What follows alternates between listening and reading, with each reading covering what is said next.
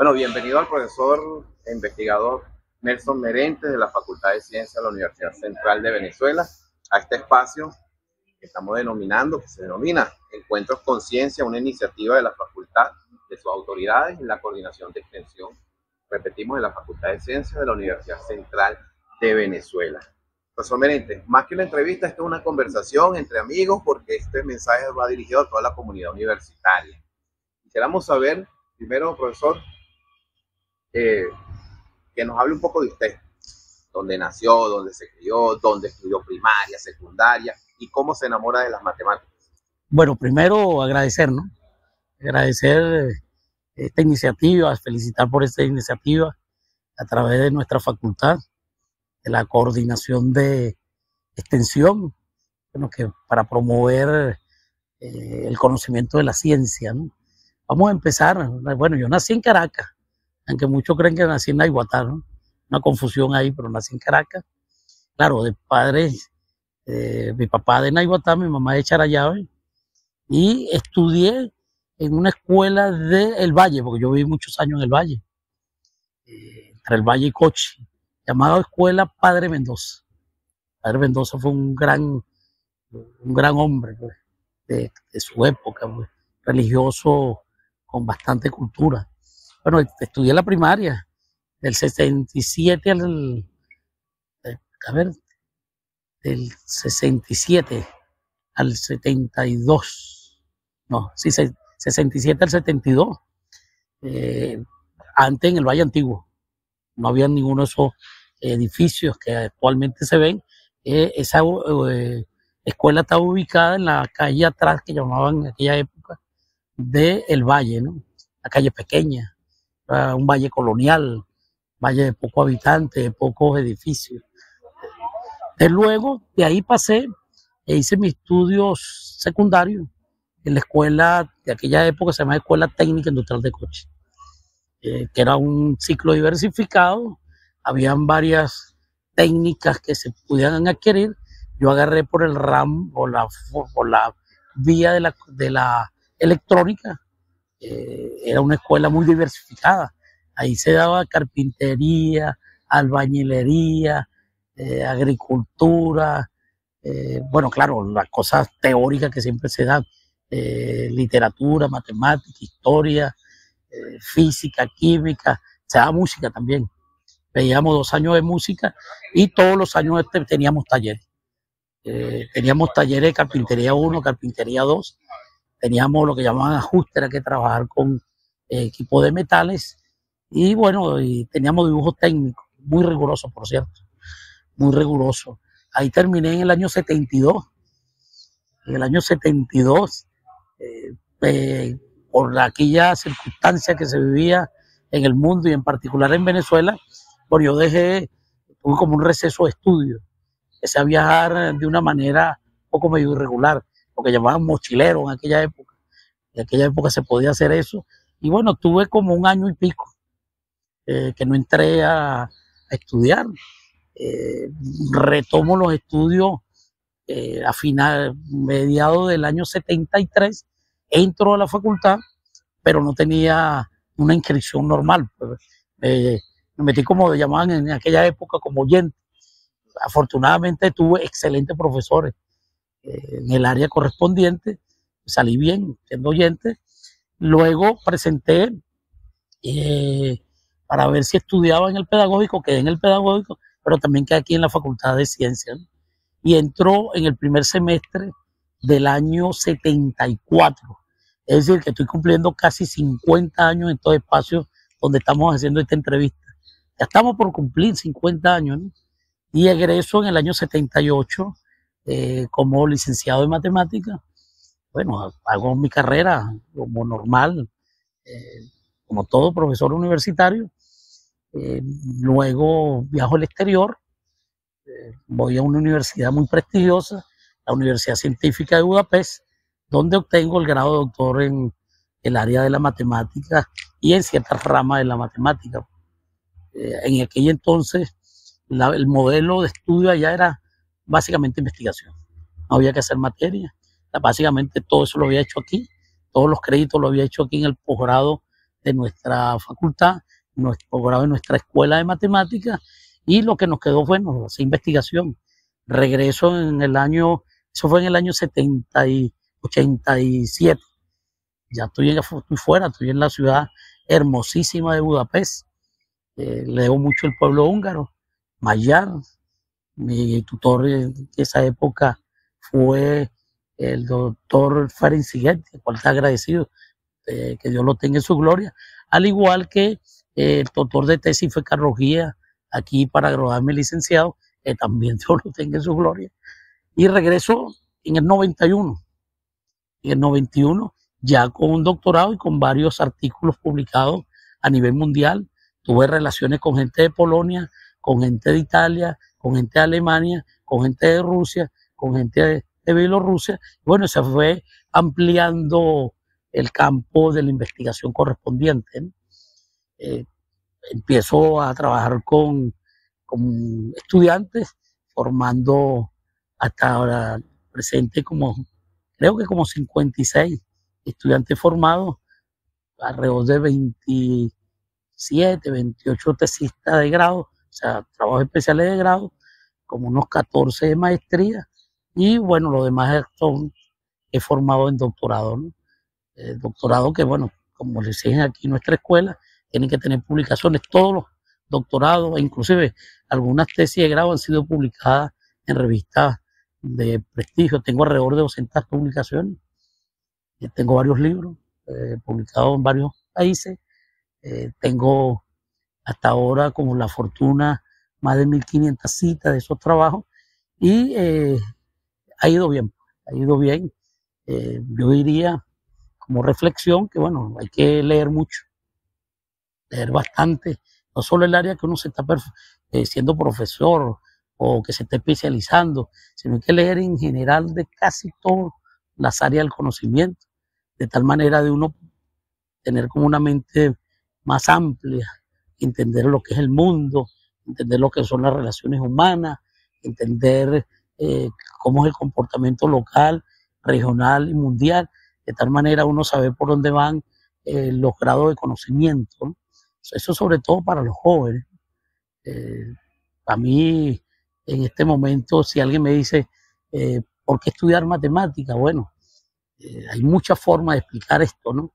No solo dentro de la matemática, sino el uso de ella como herramienta para resolver mm, sectores de muchas áreas de, del conocimiento, por ejemplo, en economía, dentro de la economía en finanzas, en cuestiones de cultivo, cómo se desarrollan cuestiones poblacionales, todo esto que tiene que ver con base de datos, todo esto que tiene que ver con los modelos de la física eh, interpretados con las herramientas matemáticas, todo esto que tiene que ver con computación.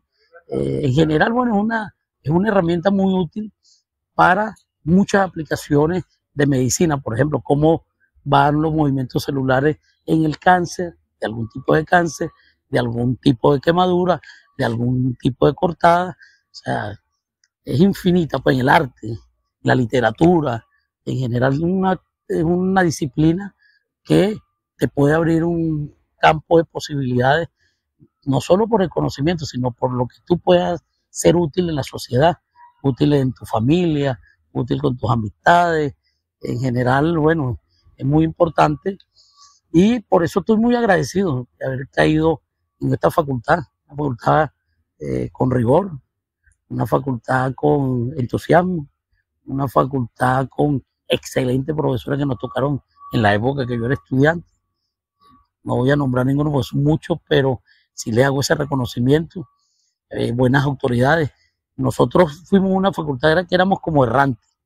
Veíamos, cuando, era, cuando estaba de oyente, veíamos clases en el auditorio de ingeniería, de cierto auditorio de ingeniería, después pasábamos al auditorio de odontología, después pasábamos al auditorio de farmacia, después a los galpones que están aquí cerquita de farmacia. Bueno, era una rotación, pero era divertido, porque uno salía a una clase y tenía que salir a todo, a todo movimiento para llegar a la otra, porque estaban equidistantes, estaban un poquito retirados de cada una de las clases. Sin embargo, eh, fue precisamente en el 73 o 74 que estas instalaciones fueron tomadas por eh, la facultad y bueno, y progresivamente fueron mejorando su espacio hasta tener eh, actualmente estas edificaciones como ustedes ven aquí, donde está la escuela de matemáticas, están los laboratorios de química y otras eh, áreas del conocimiento que se dan en esta facultad. Está restaurado el mural de Mateo Manaure, que quedó hermoso. Por cierto, Mateo Manaure vino a esta facultad, una entrevista con el decano de aquella época y vio su mural y no estaba tan bello como está ahorita. También Mateo dejó una gran obra artística, no solo este mural, sino aquí en la universidad en general, por el país. Tuve el privilegio de estar en esa conversación. Un señor muy lúcido en aquella época, extremadamente dedicado al arte y eh, bueno, eso se le debe a la facultad. Eh, lo que yo he podido hacer como funcionario público, como investigador, se lo debo, bueno, a básicamente nuestra escuela primaria, como lo dije, la escuela Padre Mendoza, nuestra escuela secundaria, que fue la Escuela Técnica Industrial de Coche, y sobre todo aquí en esta facultad, que bueno, uno se va como ya poniendo más robusto en el conocimiento y luego hace un título de cuarto nivel, en este caso la Universidad Científica de Budapest, una universidad también bastante consolidada en el conocimiento. Profesor, háblenos un poco de su experiencia en Budapest en aquella época, ¿qué nos puede decir a nivel de estudio? Sobre todo el aprendizaje que pudo tener allí, que pudo después bueno, mira, aquí. Tú sabes que eh, Europa en general, eh, bueno, eh, sus edificaciones son un poco antiguas, y nosotros aquí en esta parte de, este continente y en particular en Caracas, casi todo lo que era antiguo va desapareciendo y llega algo como la modernidad entre comillas. ¿no? Entonces hay un contraste en, lo que tú ves. Después hay otro contraste bien interesante, porque nosotros aquí, donde estamos parados, tú ves hacia la derecha, hacia la izquierda, donde ves, ves los árboles, siempre tienen algún tipo de color. En este caso un verdor, siempre, todo el año.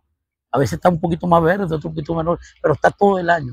Allá no, allá empieza, empieza a caerse las hojas, a caerse las hojas y quedan sin una hojita.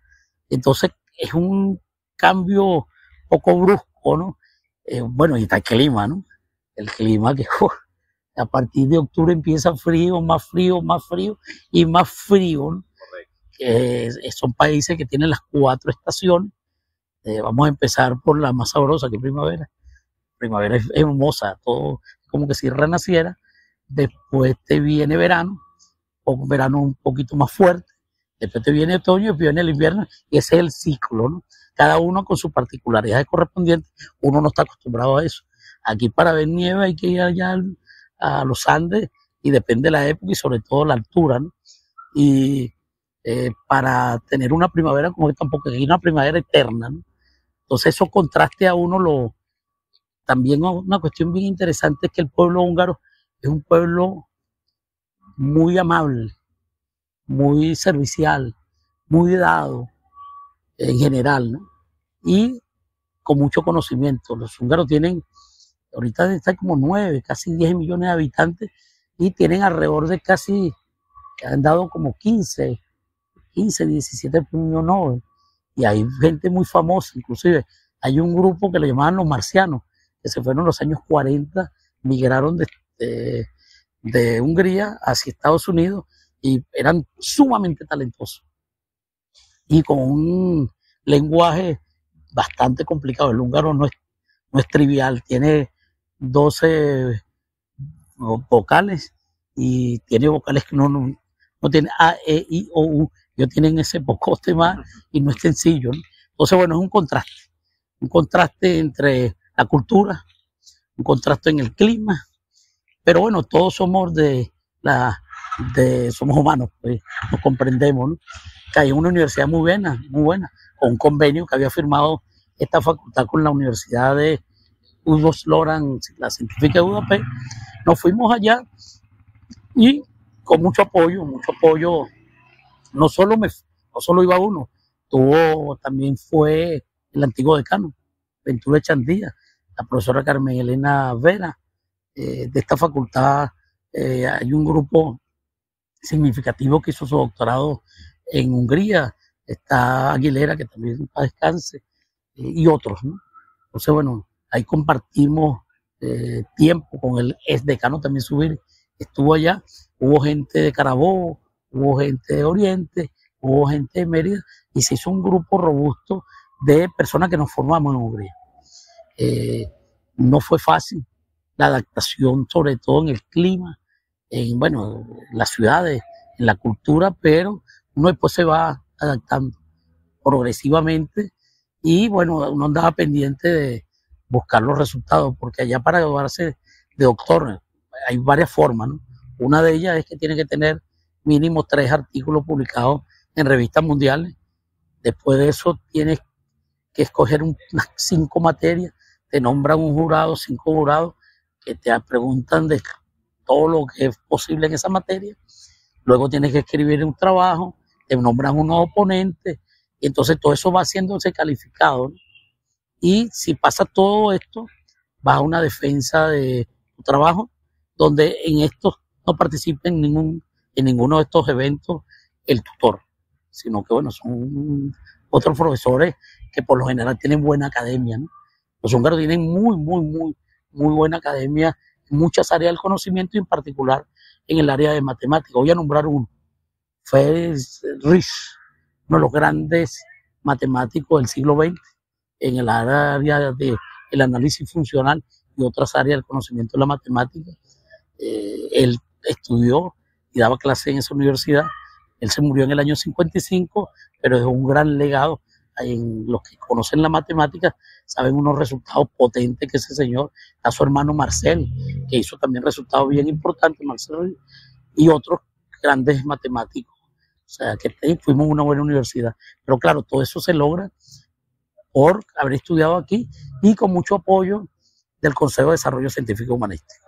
O sea, mucho, mucho apoyo del Consejo Científico. Profesor Merentes, en la actualidad, los jóvenes se preguntan, ¿para qué estudiar matemáticas? ¿Para qué sirve la matemática? Usted adelantó algo hace, hace unos minutos, pero quisiera profundizar eso, sobre todo para decirle y darle un mensaje a los jóvenes y a esa juventud de relevo, la importancia de la ciencia y la importancia de la matemática. Pero mira, vamos a ir eh, como desmenuzando un poco el asunto. Uno, te permite tener un razonamiento eh, tanto en práctica como abstracto. Y eso eh, es importante en la vida. O sea, saber interpretar un problema, saber, aparte de interpretarlo, la posibilidad de resolverlo. Esa es una técnica. Matemático lo que hace es resolver cosas, ¿no? En este caso de matemática, pero puede irse a otro campo, eh, como la finanza. Por ejemplo, tú agarras, tienes un portafolio de inversiones. El que tenedor de portafolio de inversiones, lo primero que te dice, ¿cómo evito el riesgo de perder la inversión. Eso, eso, la matemática te ayuda a optimizar los portafolios de inversión. Esto, por ejemplo, ¿no?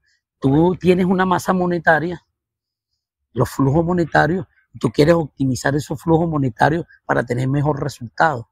Eso también te sirve la matemática. Tú tienes una industria, un poco de maquinaria. Entonces tú quieres tener la optimización del de, el uso y la utilidad de esas máquinas, para eso te sirve la matemática, ¿no? Y bueno, la matemática dentro de la matemática, si un matemático, matemático, pues eso también es una de las ramas de la disciplina. Eh, yo diría lo siguiente, para complementar la cuestión, el que estudia matemática tiene que tratar de leer literatura. Por ejemplo, yo le recomendaría estudiar a Borges, a García Márquez eh, y algunos autores venezolanos de tal manera que pueda ver cómo se puede ligar todo esto. ¿no? todo esto, todo estos tipos de conocimientos. Y eh, esta facultad da parte de matemática o no da física. La física se ha convertido como el pilar, claro, con matemáticas, de las cuestiones estructurales de la tecnología. Por ejemplo, eh, ahorita hay todo lo que es la medicina cuántica y eso proviene de los avances científicos de la física cuántica de inicio del siglo XX y también la teoría de relatividad. Entonces yo le diría a los muchachos que la matemática y en general el estudio de la ciencia tiene un gran porvenir, porque van juntos, tecnología, ciencia, ciencia y tecnología. Y bueno, nosotros en este país necesitamos resolver temas, ¿no? Temas a veces sencillos, a veces no tan sencillos. Le voy a dar un ejemplo, una cosa que no es tan sencilla, pero que pueden algunos de los jóvenes tomar. Eh, como ustedes saben, bueno, hay muchos pensadores de la economía del siglo XIX, del siglo XX, muchos pensadores de distintas tendencias ideológicas. Entonces, ¿cómo uno interpreta esos eh, pensadores de la economía a través de los modelos matemáticos? Y hay unos libros, por ejemplo, que trabajan sobre ese tipo de temas, eh, de pocos autores, pero ahí hay todo como una gran eh, posibilidad de hacer cosas ahí, de interpretar los modelos matemáticos que están en las obras de esos grandes pensadores del siglo XIX y siglo XX. Entonces, eh, eso por decirte una cuestión. Otra posibilidad eh, con esta cuestión de, de, los datos, eh, meterse en los datos, tener mayor información e interpretar esa información e interpretar las estadísticas de esa información o los modelos que, que se derivan es muy importante. Yo ahora recién di una charla y empezamos eh, básicamente hablar un poco de, la música. Tú agarras una guitarra y ¿qué haces? Le agarras y mueves una cuerda. El lío cómo se mueve esa cuerda a través del tiempo en un plano. Bueno, eso se estudia desde el punto de vista matemático, esa es la ecuación de onda. Eso lo empezó a estudiar eh, de, eh, de Alambert, después Euler, después Bernoulli. Y Bernoulli, bueno, fue un gran matemático, pero fue un músico también talentoso y aparte de eso, músico fue un gran financista, la familia Bernoulli. Entonces, por ejemplo, tú tocas un tambor y eso también lo interpretas desde el punto de vista de un modelo. Tú recalientas un objeto también. Y recientemente hubo una cosa bien importante, hay un fluido que tú, por ejemplo, lo calientas y su forma molecular cambia. Esos estudios, eso se puede molar en ciertos espacios que crean los matemáticos y después que hace, tienes un espacio, luego buscas las herramientas que son los operadores y las ecuaciones cada vez te van más aproximando. Hay algo muy importante que son los llamadas series de Fourier. Eso es lo que son aproximaciones de fenómenos, eh, pero a través de funciones más sencillas, que en este caso son oscilatorias, eh, senos, cosenos y cosas de ese estilo, eh, que bueno, que se trabaja de mucho la humanidad ha trabajado eso muchísimo. Entonces, todos esos tipos de fenómenos necesitan lo siguiente, buscar el espacio donde vas a trabajar, luego crear los instrumentos que están dentro de esos espacios y las ecuaciones correspondientes que te permitan analizar el tema que tú estás, ya sea de la medicina, ya sea de la economía, ya sea de otras áreas del conocimiento. Entonces hay una eh, posibilidad muy, muy, muy, muy muy cierta, con mucha capacidad para el futuro, sobre todo en la parte tecnológica y sobre todo en todo esto de, eh, de las telecomunicaciones que como ustedes ven, bueno, una ha avanzado increíblemente. Yo cuando hice mi tesis doctoral no existía nada de esto, nada de esto de celulares, menos este tipo de aparatajes tan pequeños, la nanotecnología no se había desarrollado como está en este momento. Y todo eso, bueno, es producto de algunos conceptos o nociones matemáticas que previamente en el pasado se hicieron y que se fueron acoplando para seguir avanzando en el conocimiento. Profesor Merente, en, en la actualidad, ¿qué está haciendo el profesor Merente a nivel académico? ¿Está dando clases, está dando charlas, está liderizando o lleva algún tipo de investigación o proyecto? bueno, estoy dirigiendo varias tesis doctorales. Estoy dirigiendo dos o tres tesis doctorales, una de magíster y una de pregrado. Hay dos que ya están por terminar, doctorado y pregrado pero sí tenemos algunas cuestiones de investigación. Esto de los grandes pensadores económicos se lo he planteado a la Facultad de Economía para integrar economía con ciencia. También estoy tratando de involucrar a la facultad en resoluciones de problemas concretos para las empresas privadas o las empresas públicas. Por ejemplo, tú, cuando extraes petróleo hay una segregación y una forma de que fluya eso es con unos químicos, con una formulación. Entonces, bueno, aquí la escuela de química está tratando de acoplarse. Tú, por ejemplo, cuando eh, tienes una mina o, remueve tierra, pues, entonces, si tú no estás bien protegido, te entran unos hongos que te perjudican la salud. Pero bueno, eso hay que caerle, ¿no? Entonces, bueno, hay gente que trabaja ese tema y estamos tratando de involucrar eh, eh, minería con la facultad, eh, hidrocarburos con la facultad. Es decir, que estoy siendo como una especie de bisagra entre el sector público, el sector privado y la academia, de tal manera de buscar recursos propios para que los investigadores puedan tener una fuente distinta y los laboratorios también. En eso ando. En la academia ahora como tal, como matemática, estamos trabajando sobre procesos estocásticos con algún tipo de convexidad. Eh, eso nos metimos en los últimos cuatro años, no ha ido bien. Hemos tenido como ocho diez resultados, dirigido unas tesis doctorales por ahí, y ahí sí estamos trabajando desde el punto de vista matemático, que también es muy aplicable. Estamos trabajando ahí. El año pasado yo creo que saqué cinco artículos, cinco artículos que ya están publicados. Este año estamos por terminar ahora en el mes de enero, febrero, unos dos o tres artículos más. Y seguimos trabajando esto. Eh, por cierto, ya como lo dije anteriormente, 50 años. 50 años en la facultad, primero como alumno, luego como, ¿cómo se llama esto? Eh, preparador y auxiliar docente, y luego, bueno, como profesor instructor, eh, toda la carrera, instructor, asociado, eh, asistente, asociado, agregado y titular. ¿no? Yo subí después, por cierto, a titular en el año 95. 95 y de agregado en el 92. Yo venía por ahí, había una insurrección, entonces no podía entrar, no sé qué. Una cosa curiosa porque cuando voy a entrar no me dejan entrar, ¿no? Pero la persona que estaba comandando en ese momento, yo lo conocía y me dijo, Nelson, ¿qué tienes esto que Oh, que voy a presentar mi trabajo. Le digo, no. Entonces he hecho un chiste ahí y bueno, me tuve que ir, ¿no? Y bueno, son cosas que suceden, pero casual, que estaba comandando, yo lo conocía de muchacho, llevaba eh, inclusive yo a su casa y me tiró ese dato que es mejor que yo no entrara porque podía tener algún inconveniente. Entonces, eh, estamos en eso, estamos haciendo investigación en el área de la matemática matemática, estamos tratando de ligar ahora la matemática con la economía teórica, estamos tratando de eh, impulsar proyectos propios aquí que se liguen a las empresas privadas y a las empresas públicas. Y creo que hay una posibilidad real de que tengamos buenos resultados en todo lo que acabo de decir, buenos resultados académicos, buenos resultados de ingresos y sobre todo, bueno, esa, esa compenetración que tiene que tener ciencia con realidad, realidad con ciencia. Eso es lo que estamos tratando de seguir impulsando. Esta facultad es experta en eso. Nosotros lo que estamos es agregando arenitas, grano de arena al asunto, ¿no? grano de arena al asunto.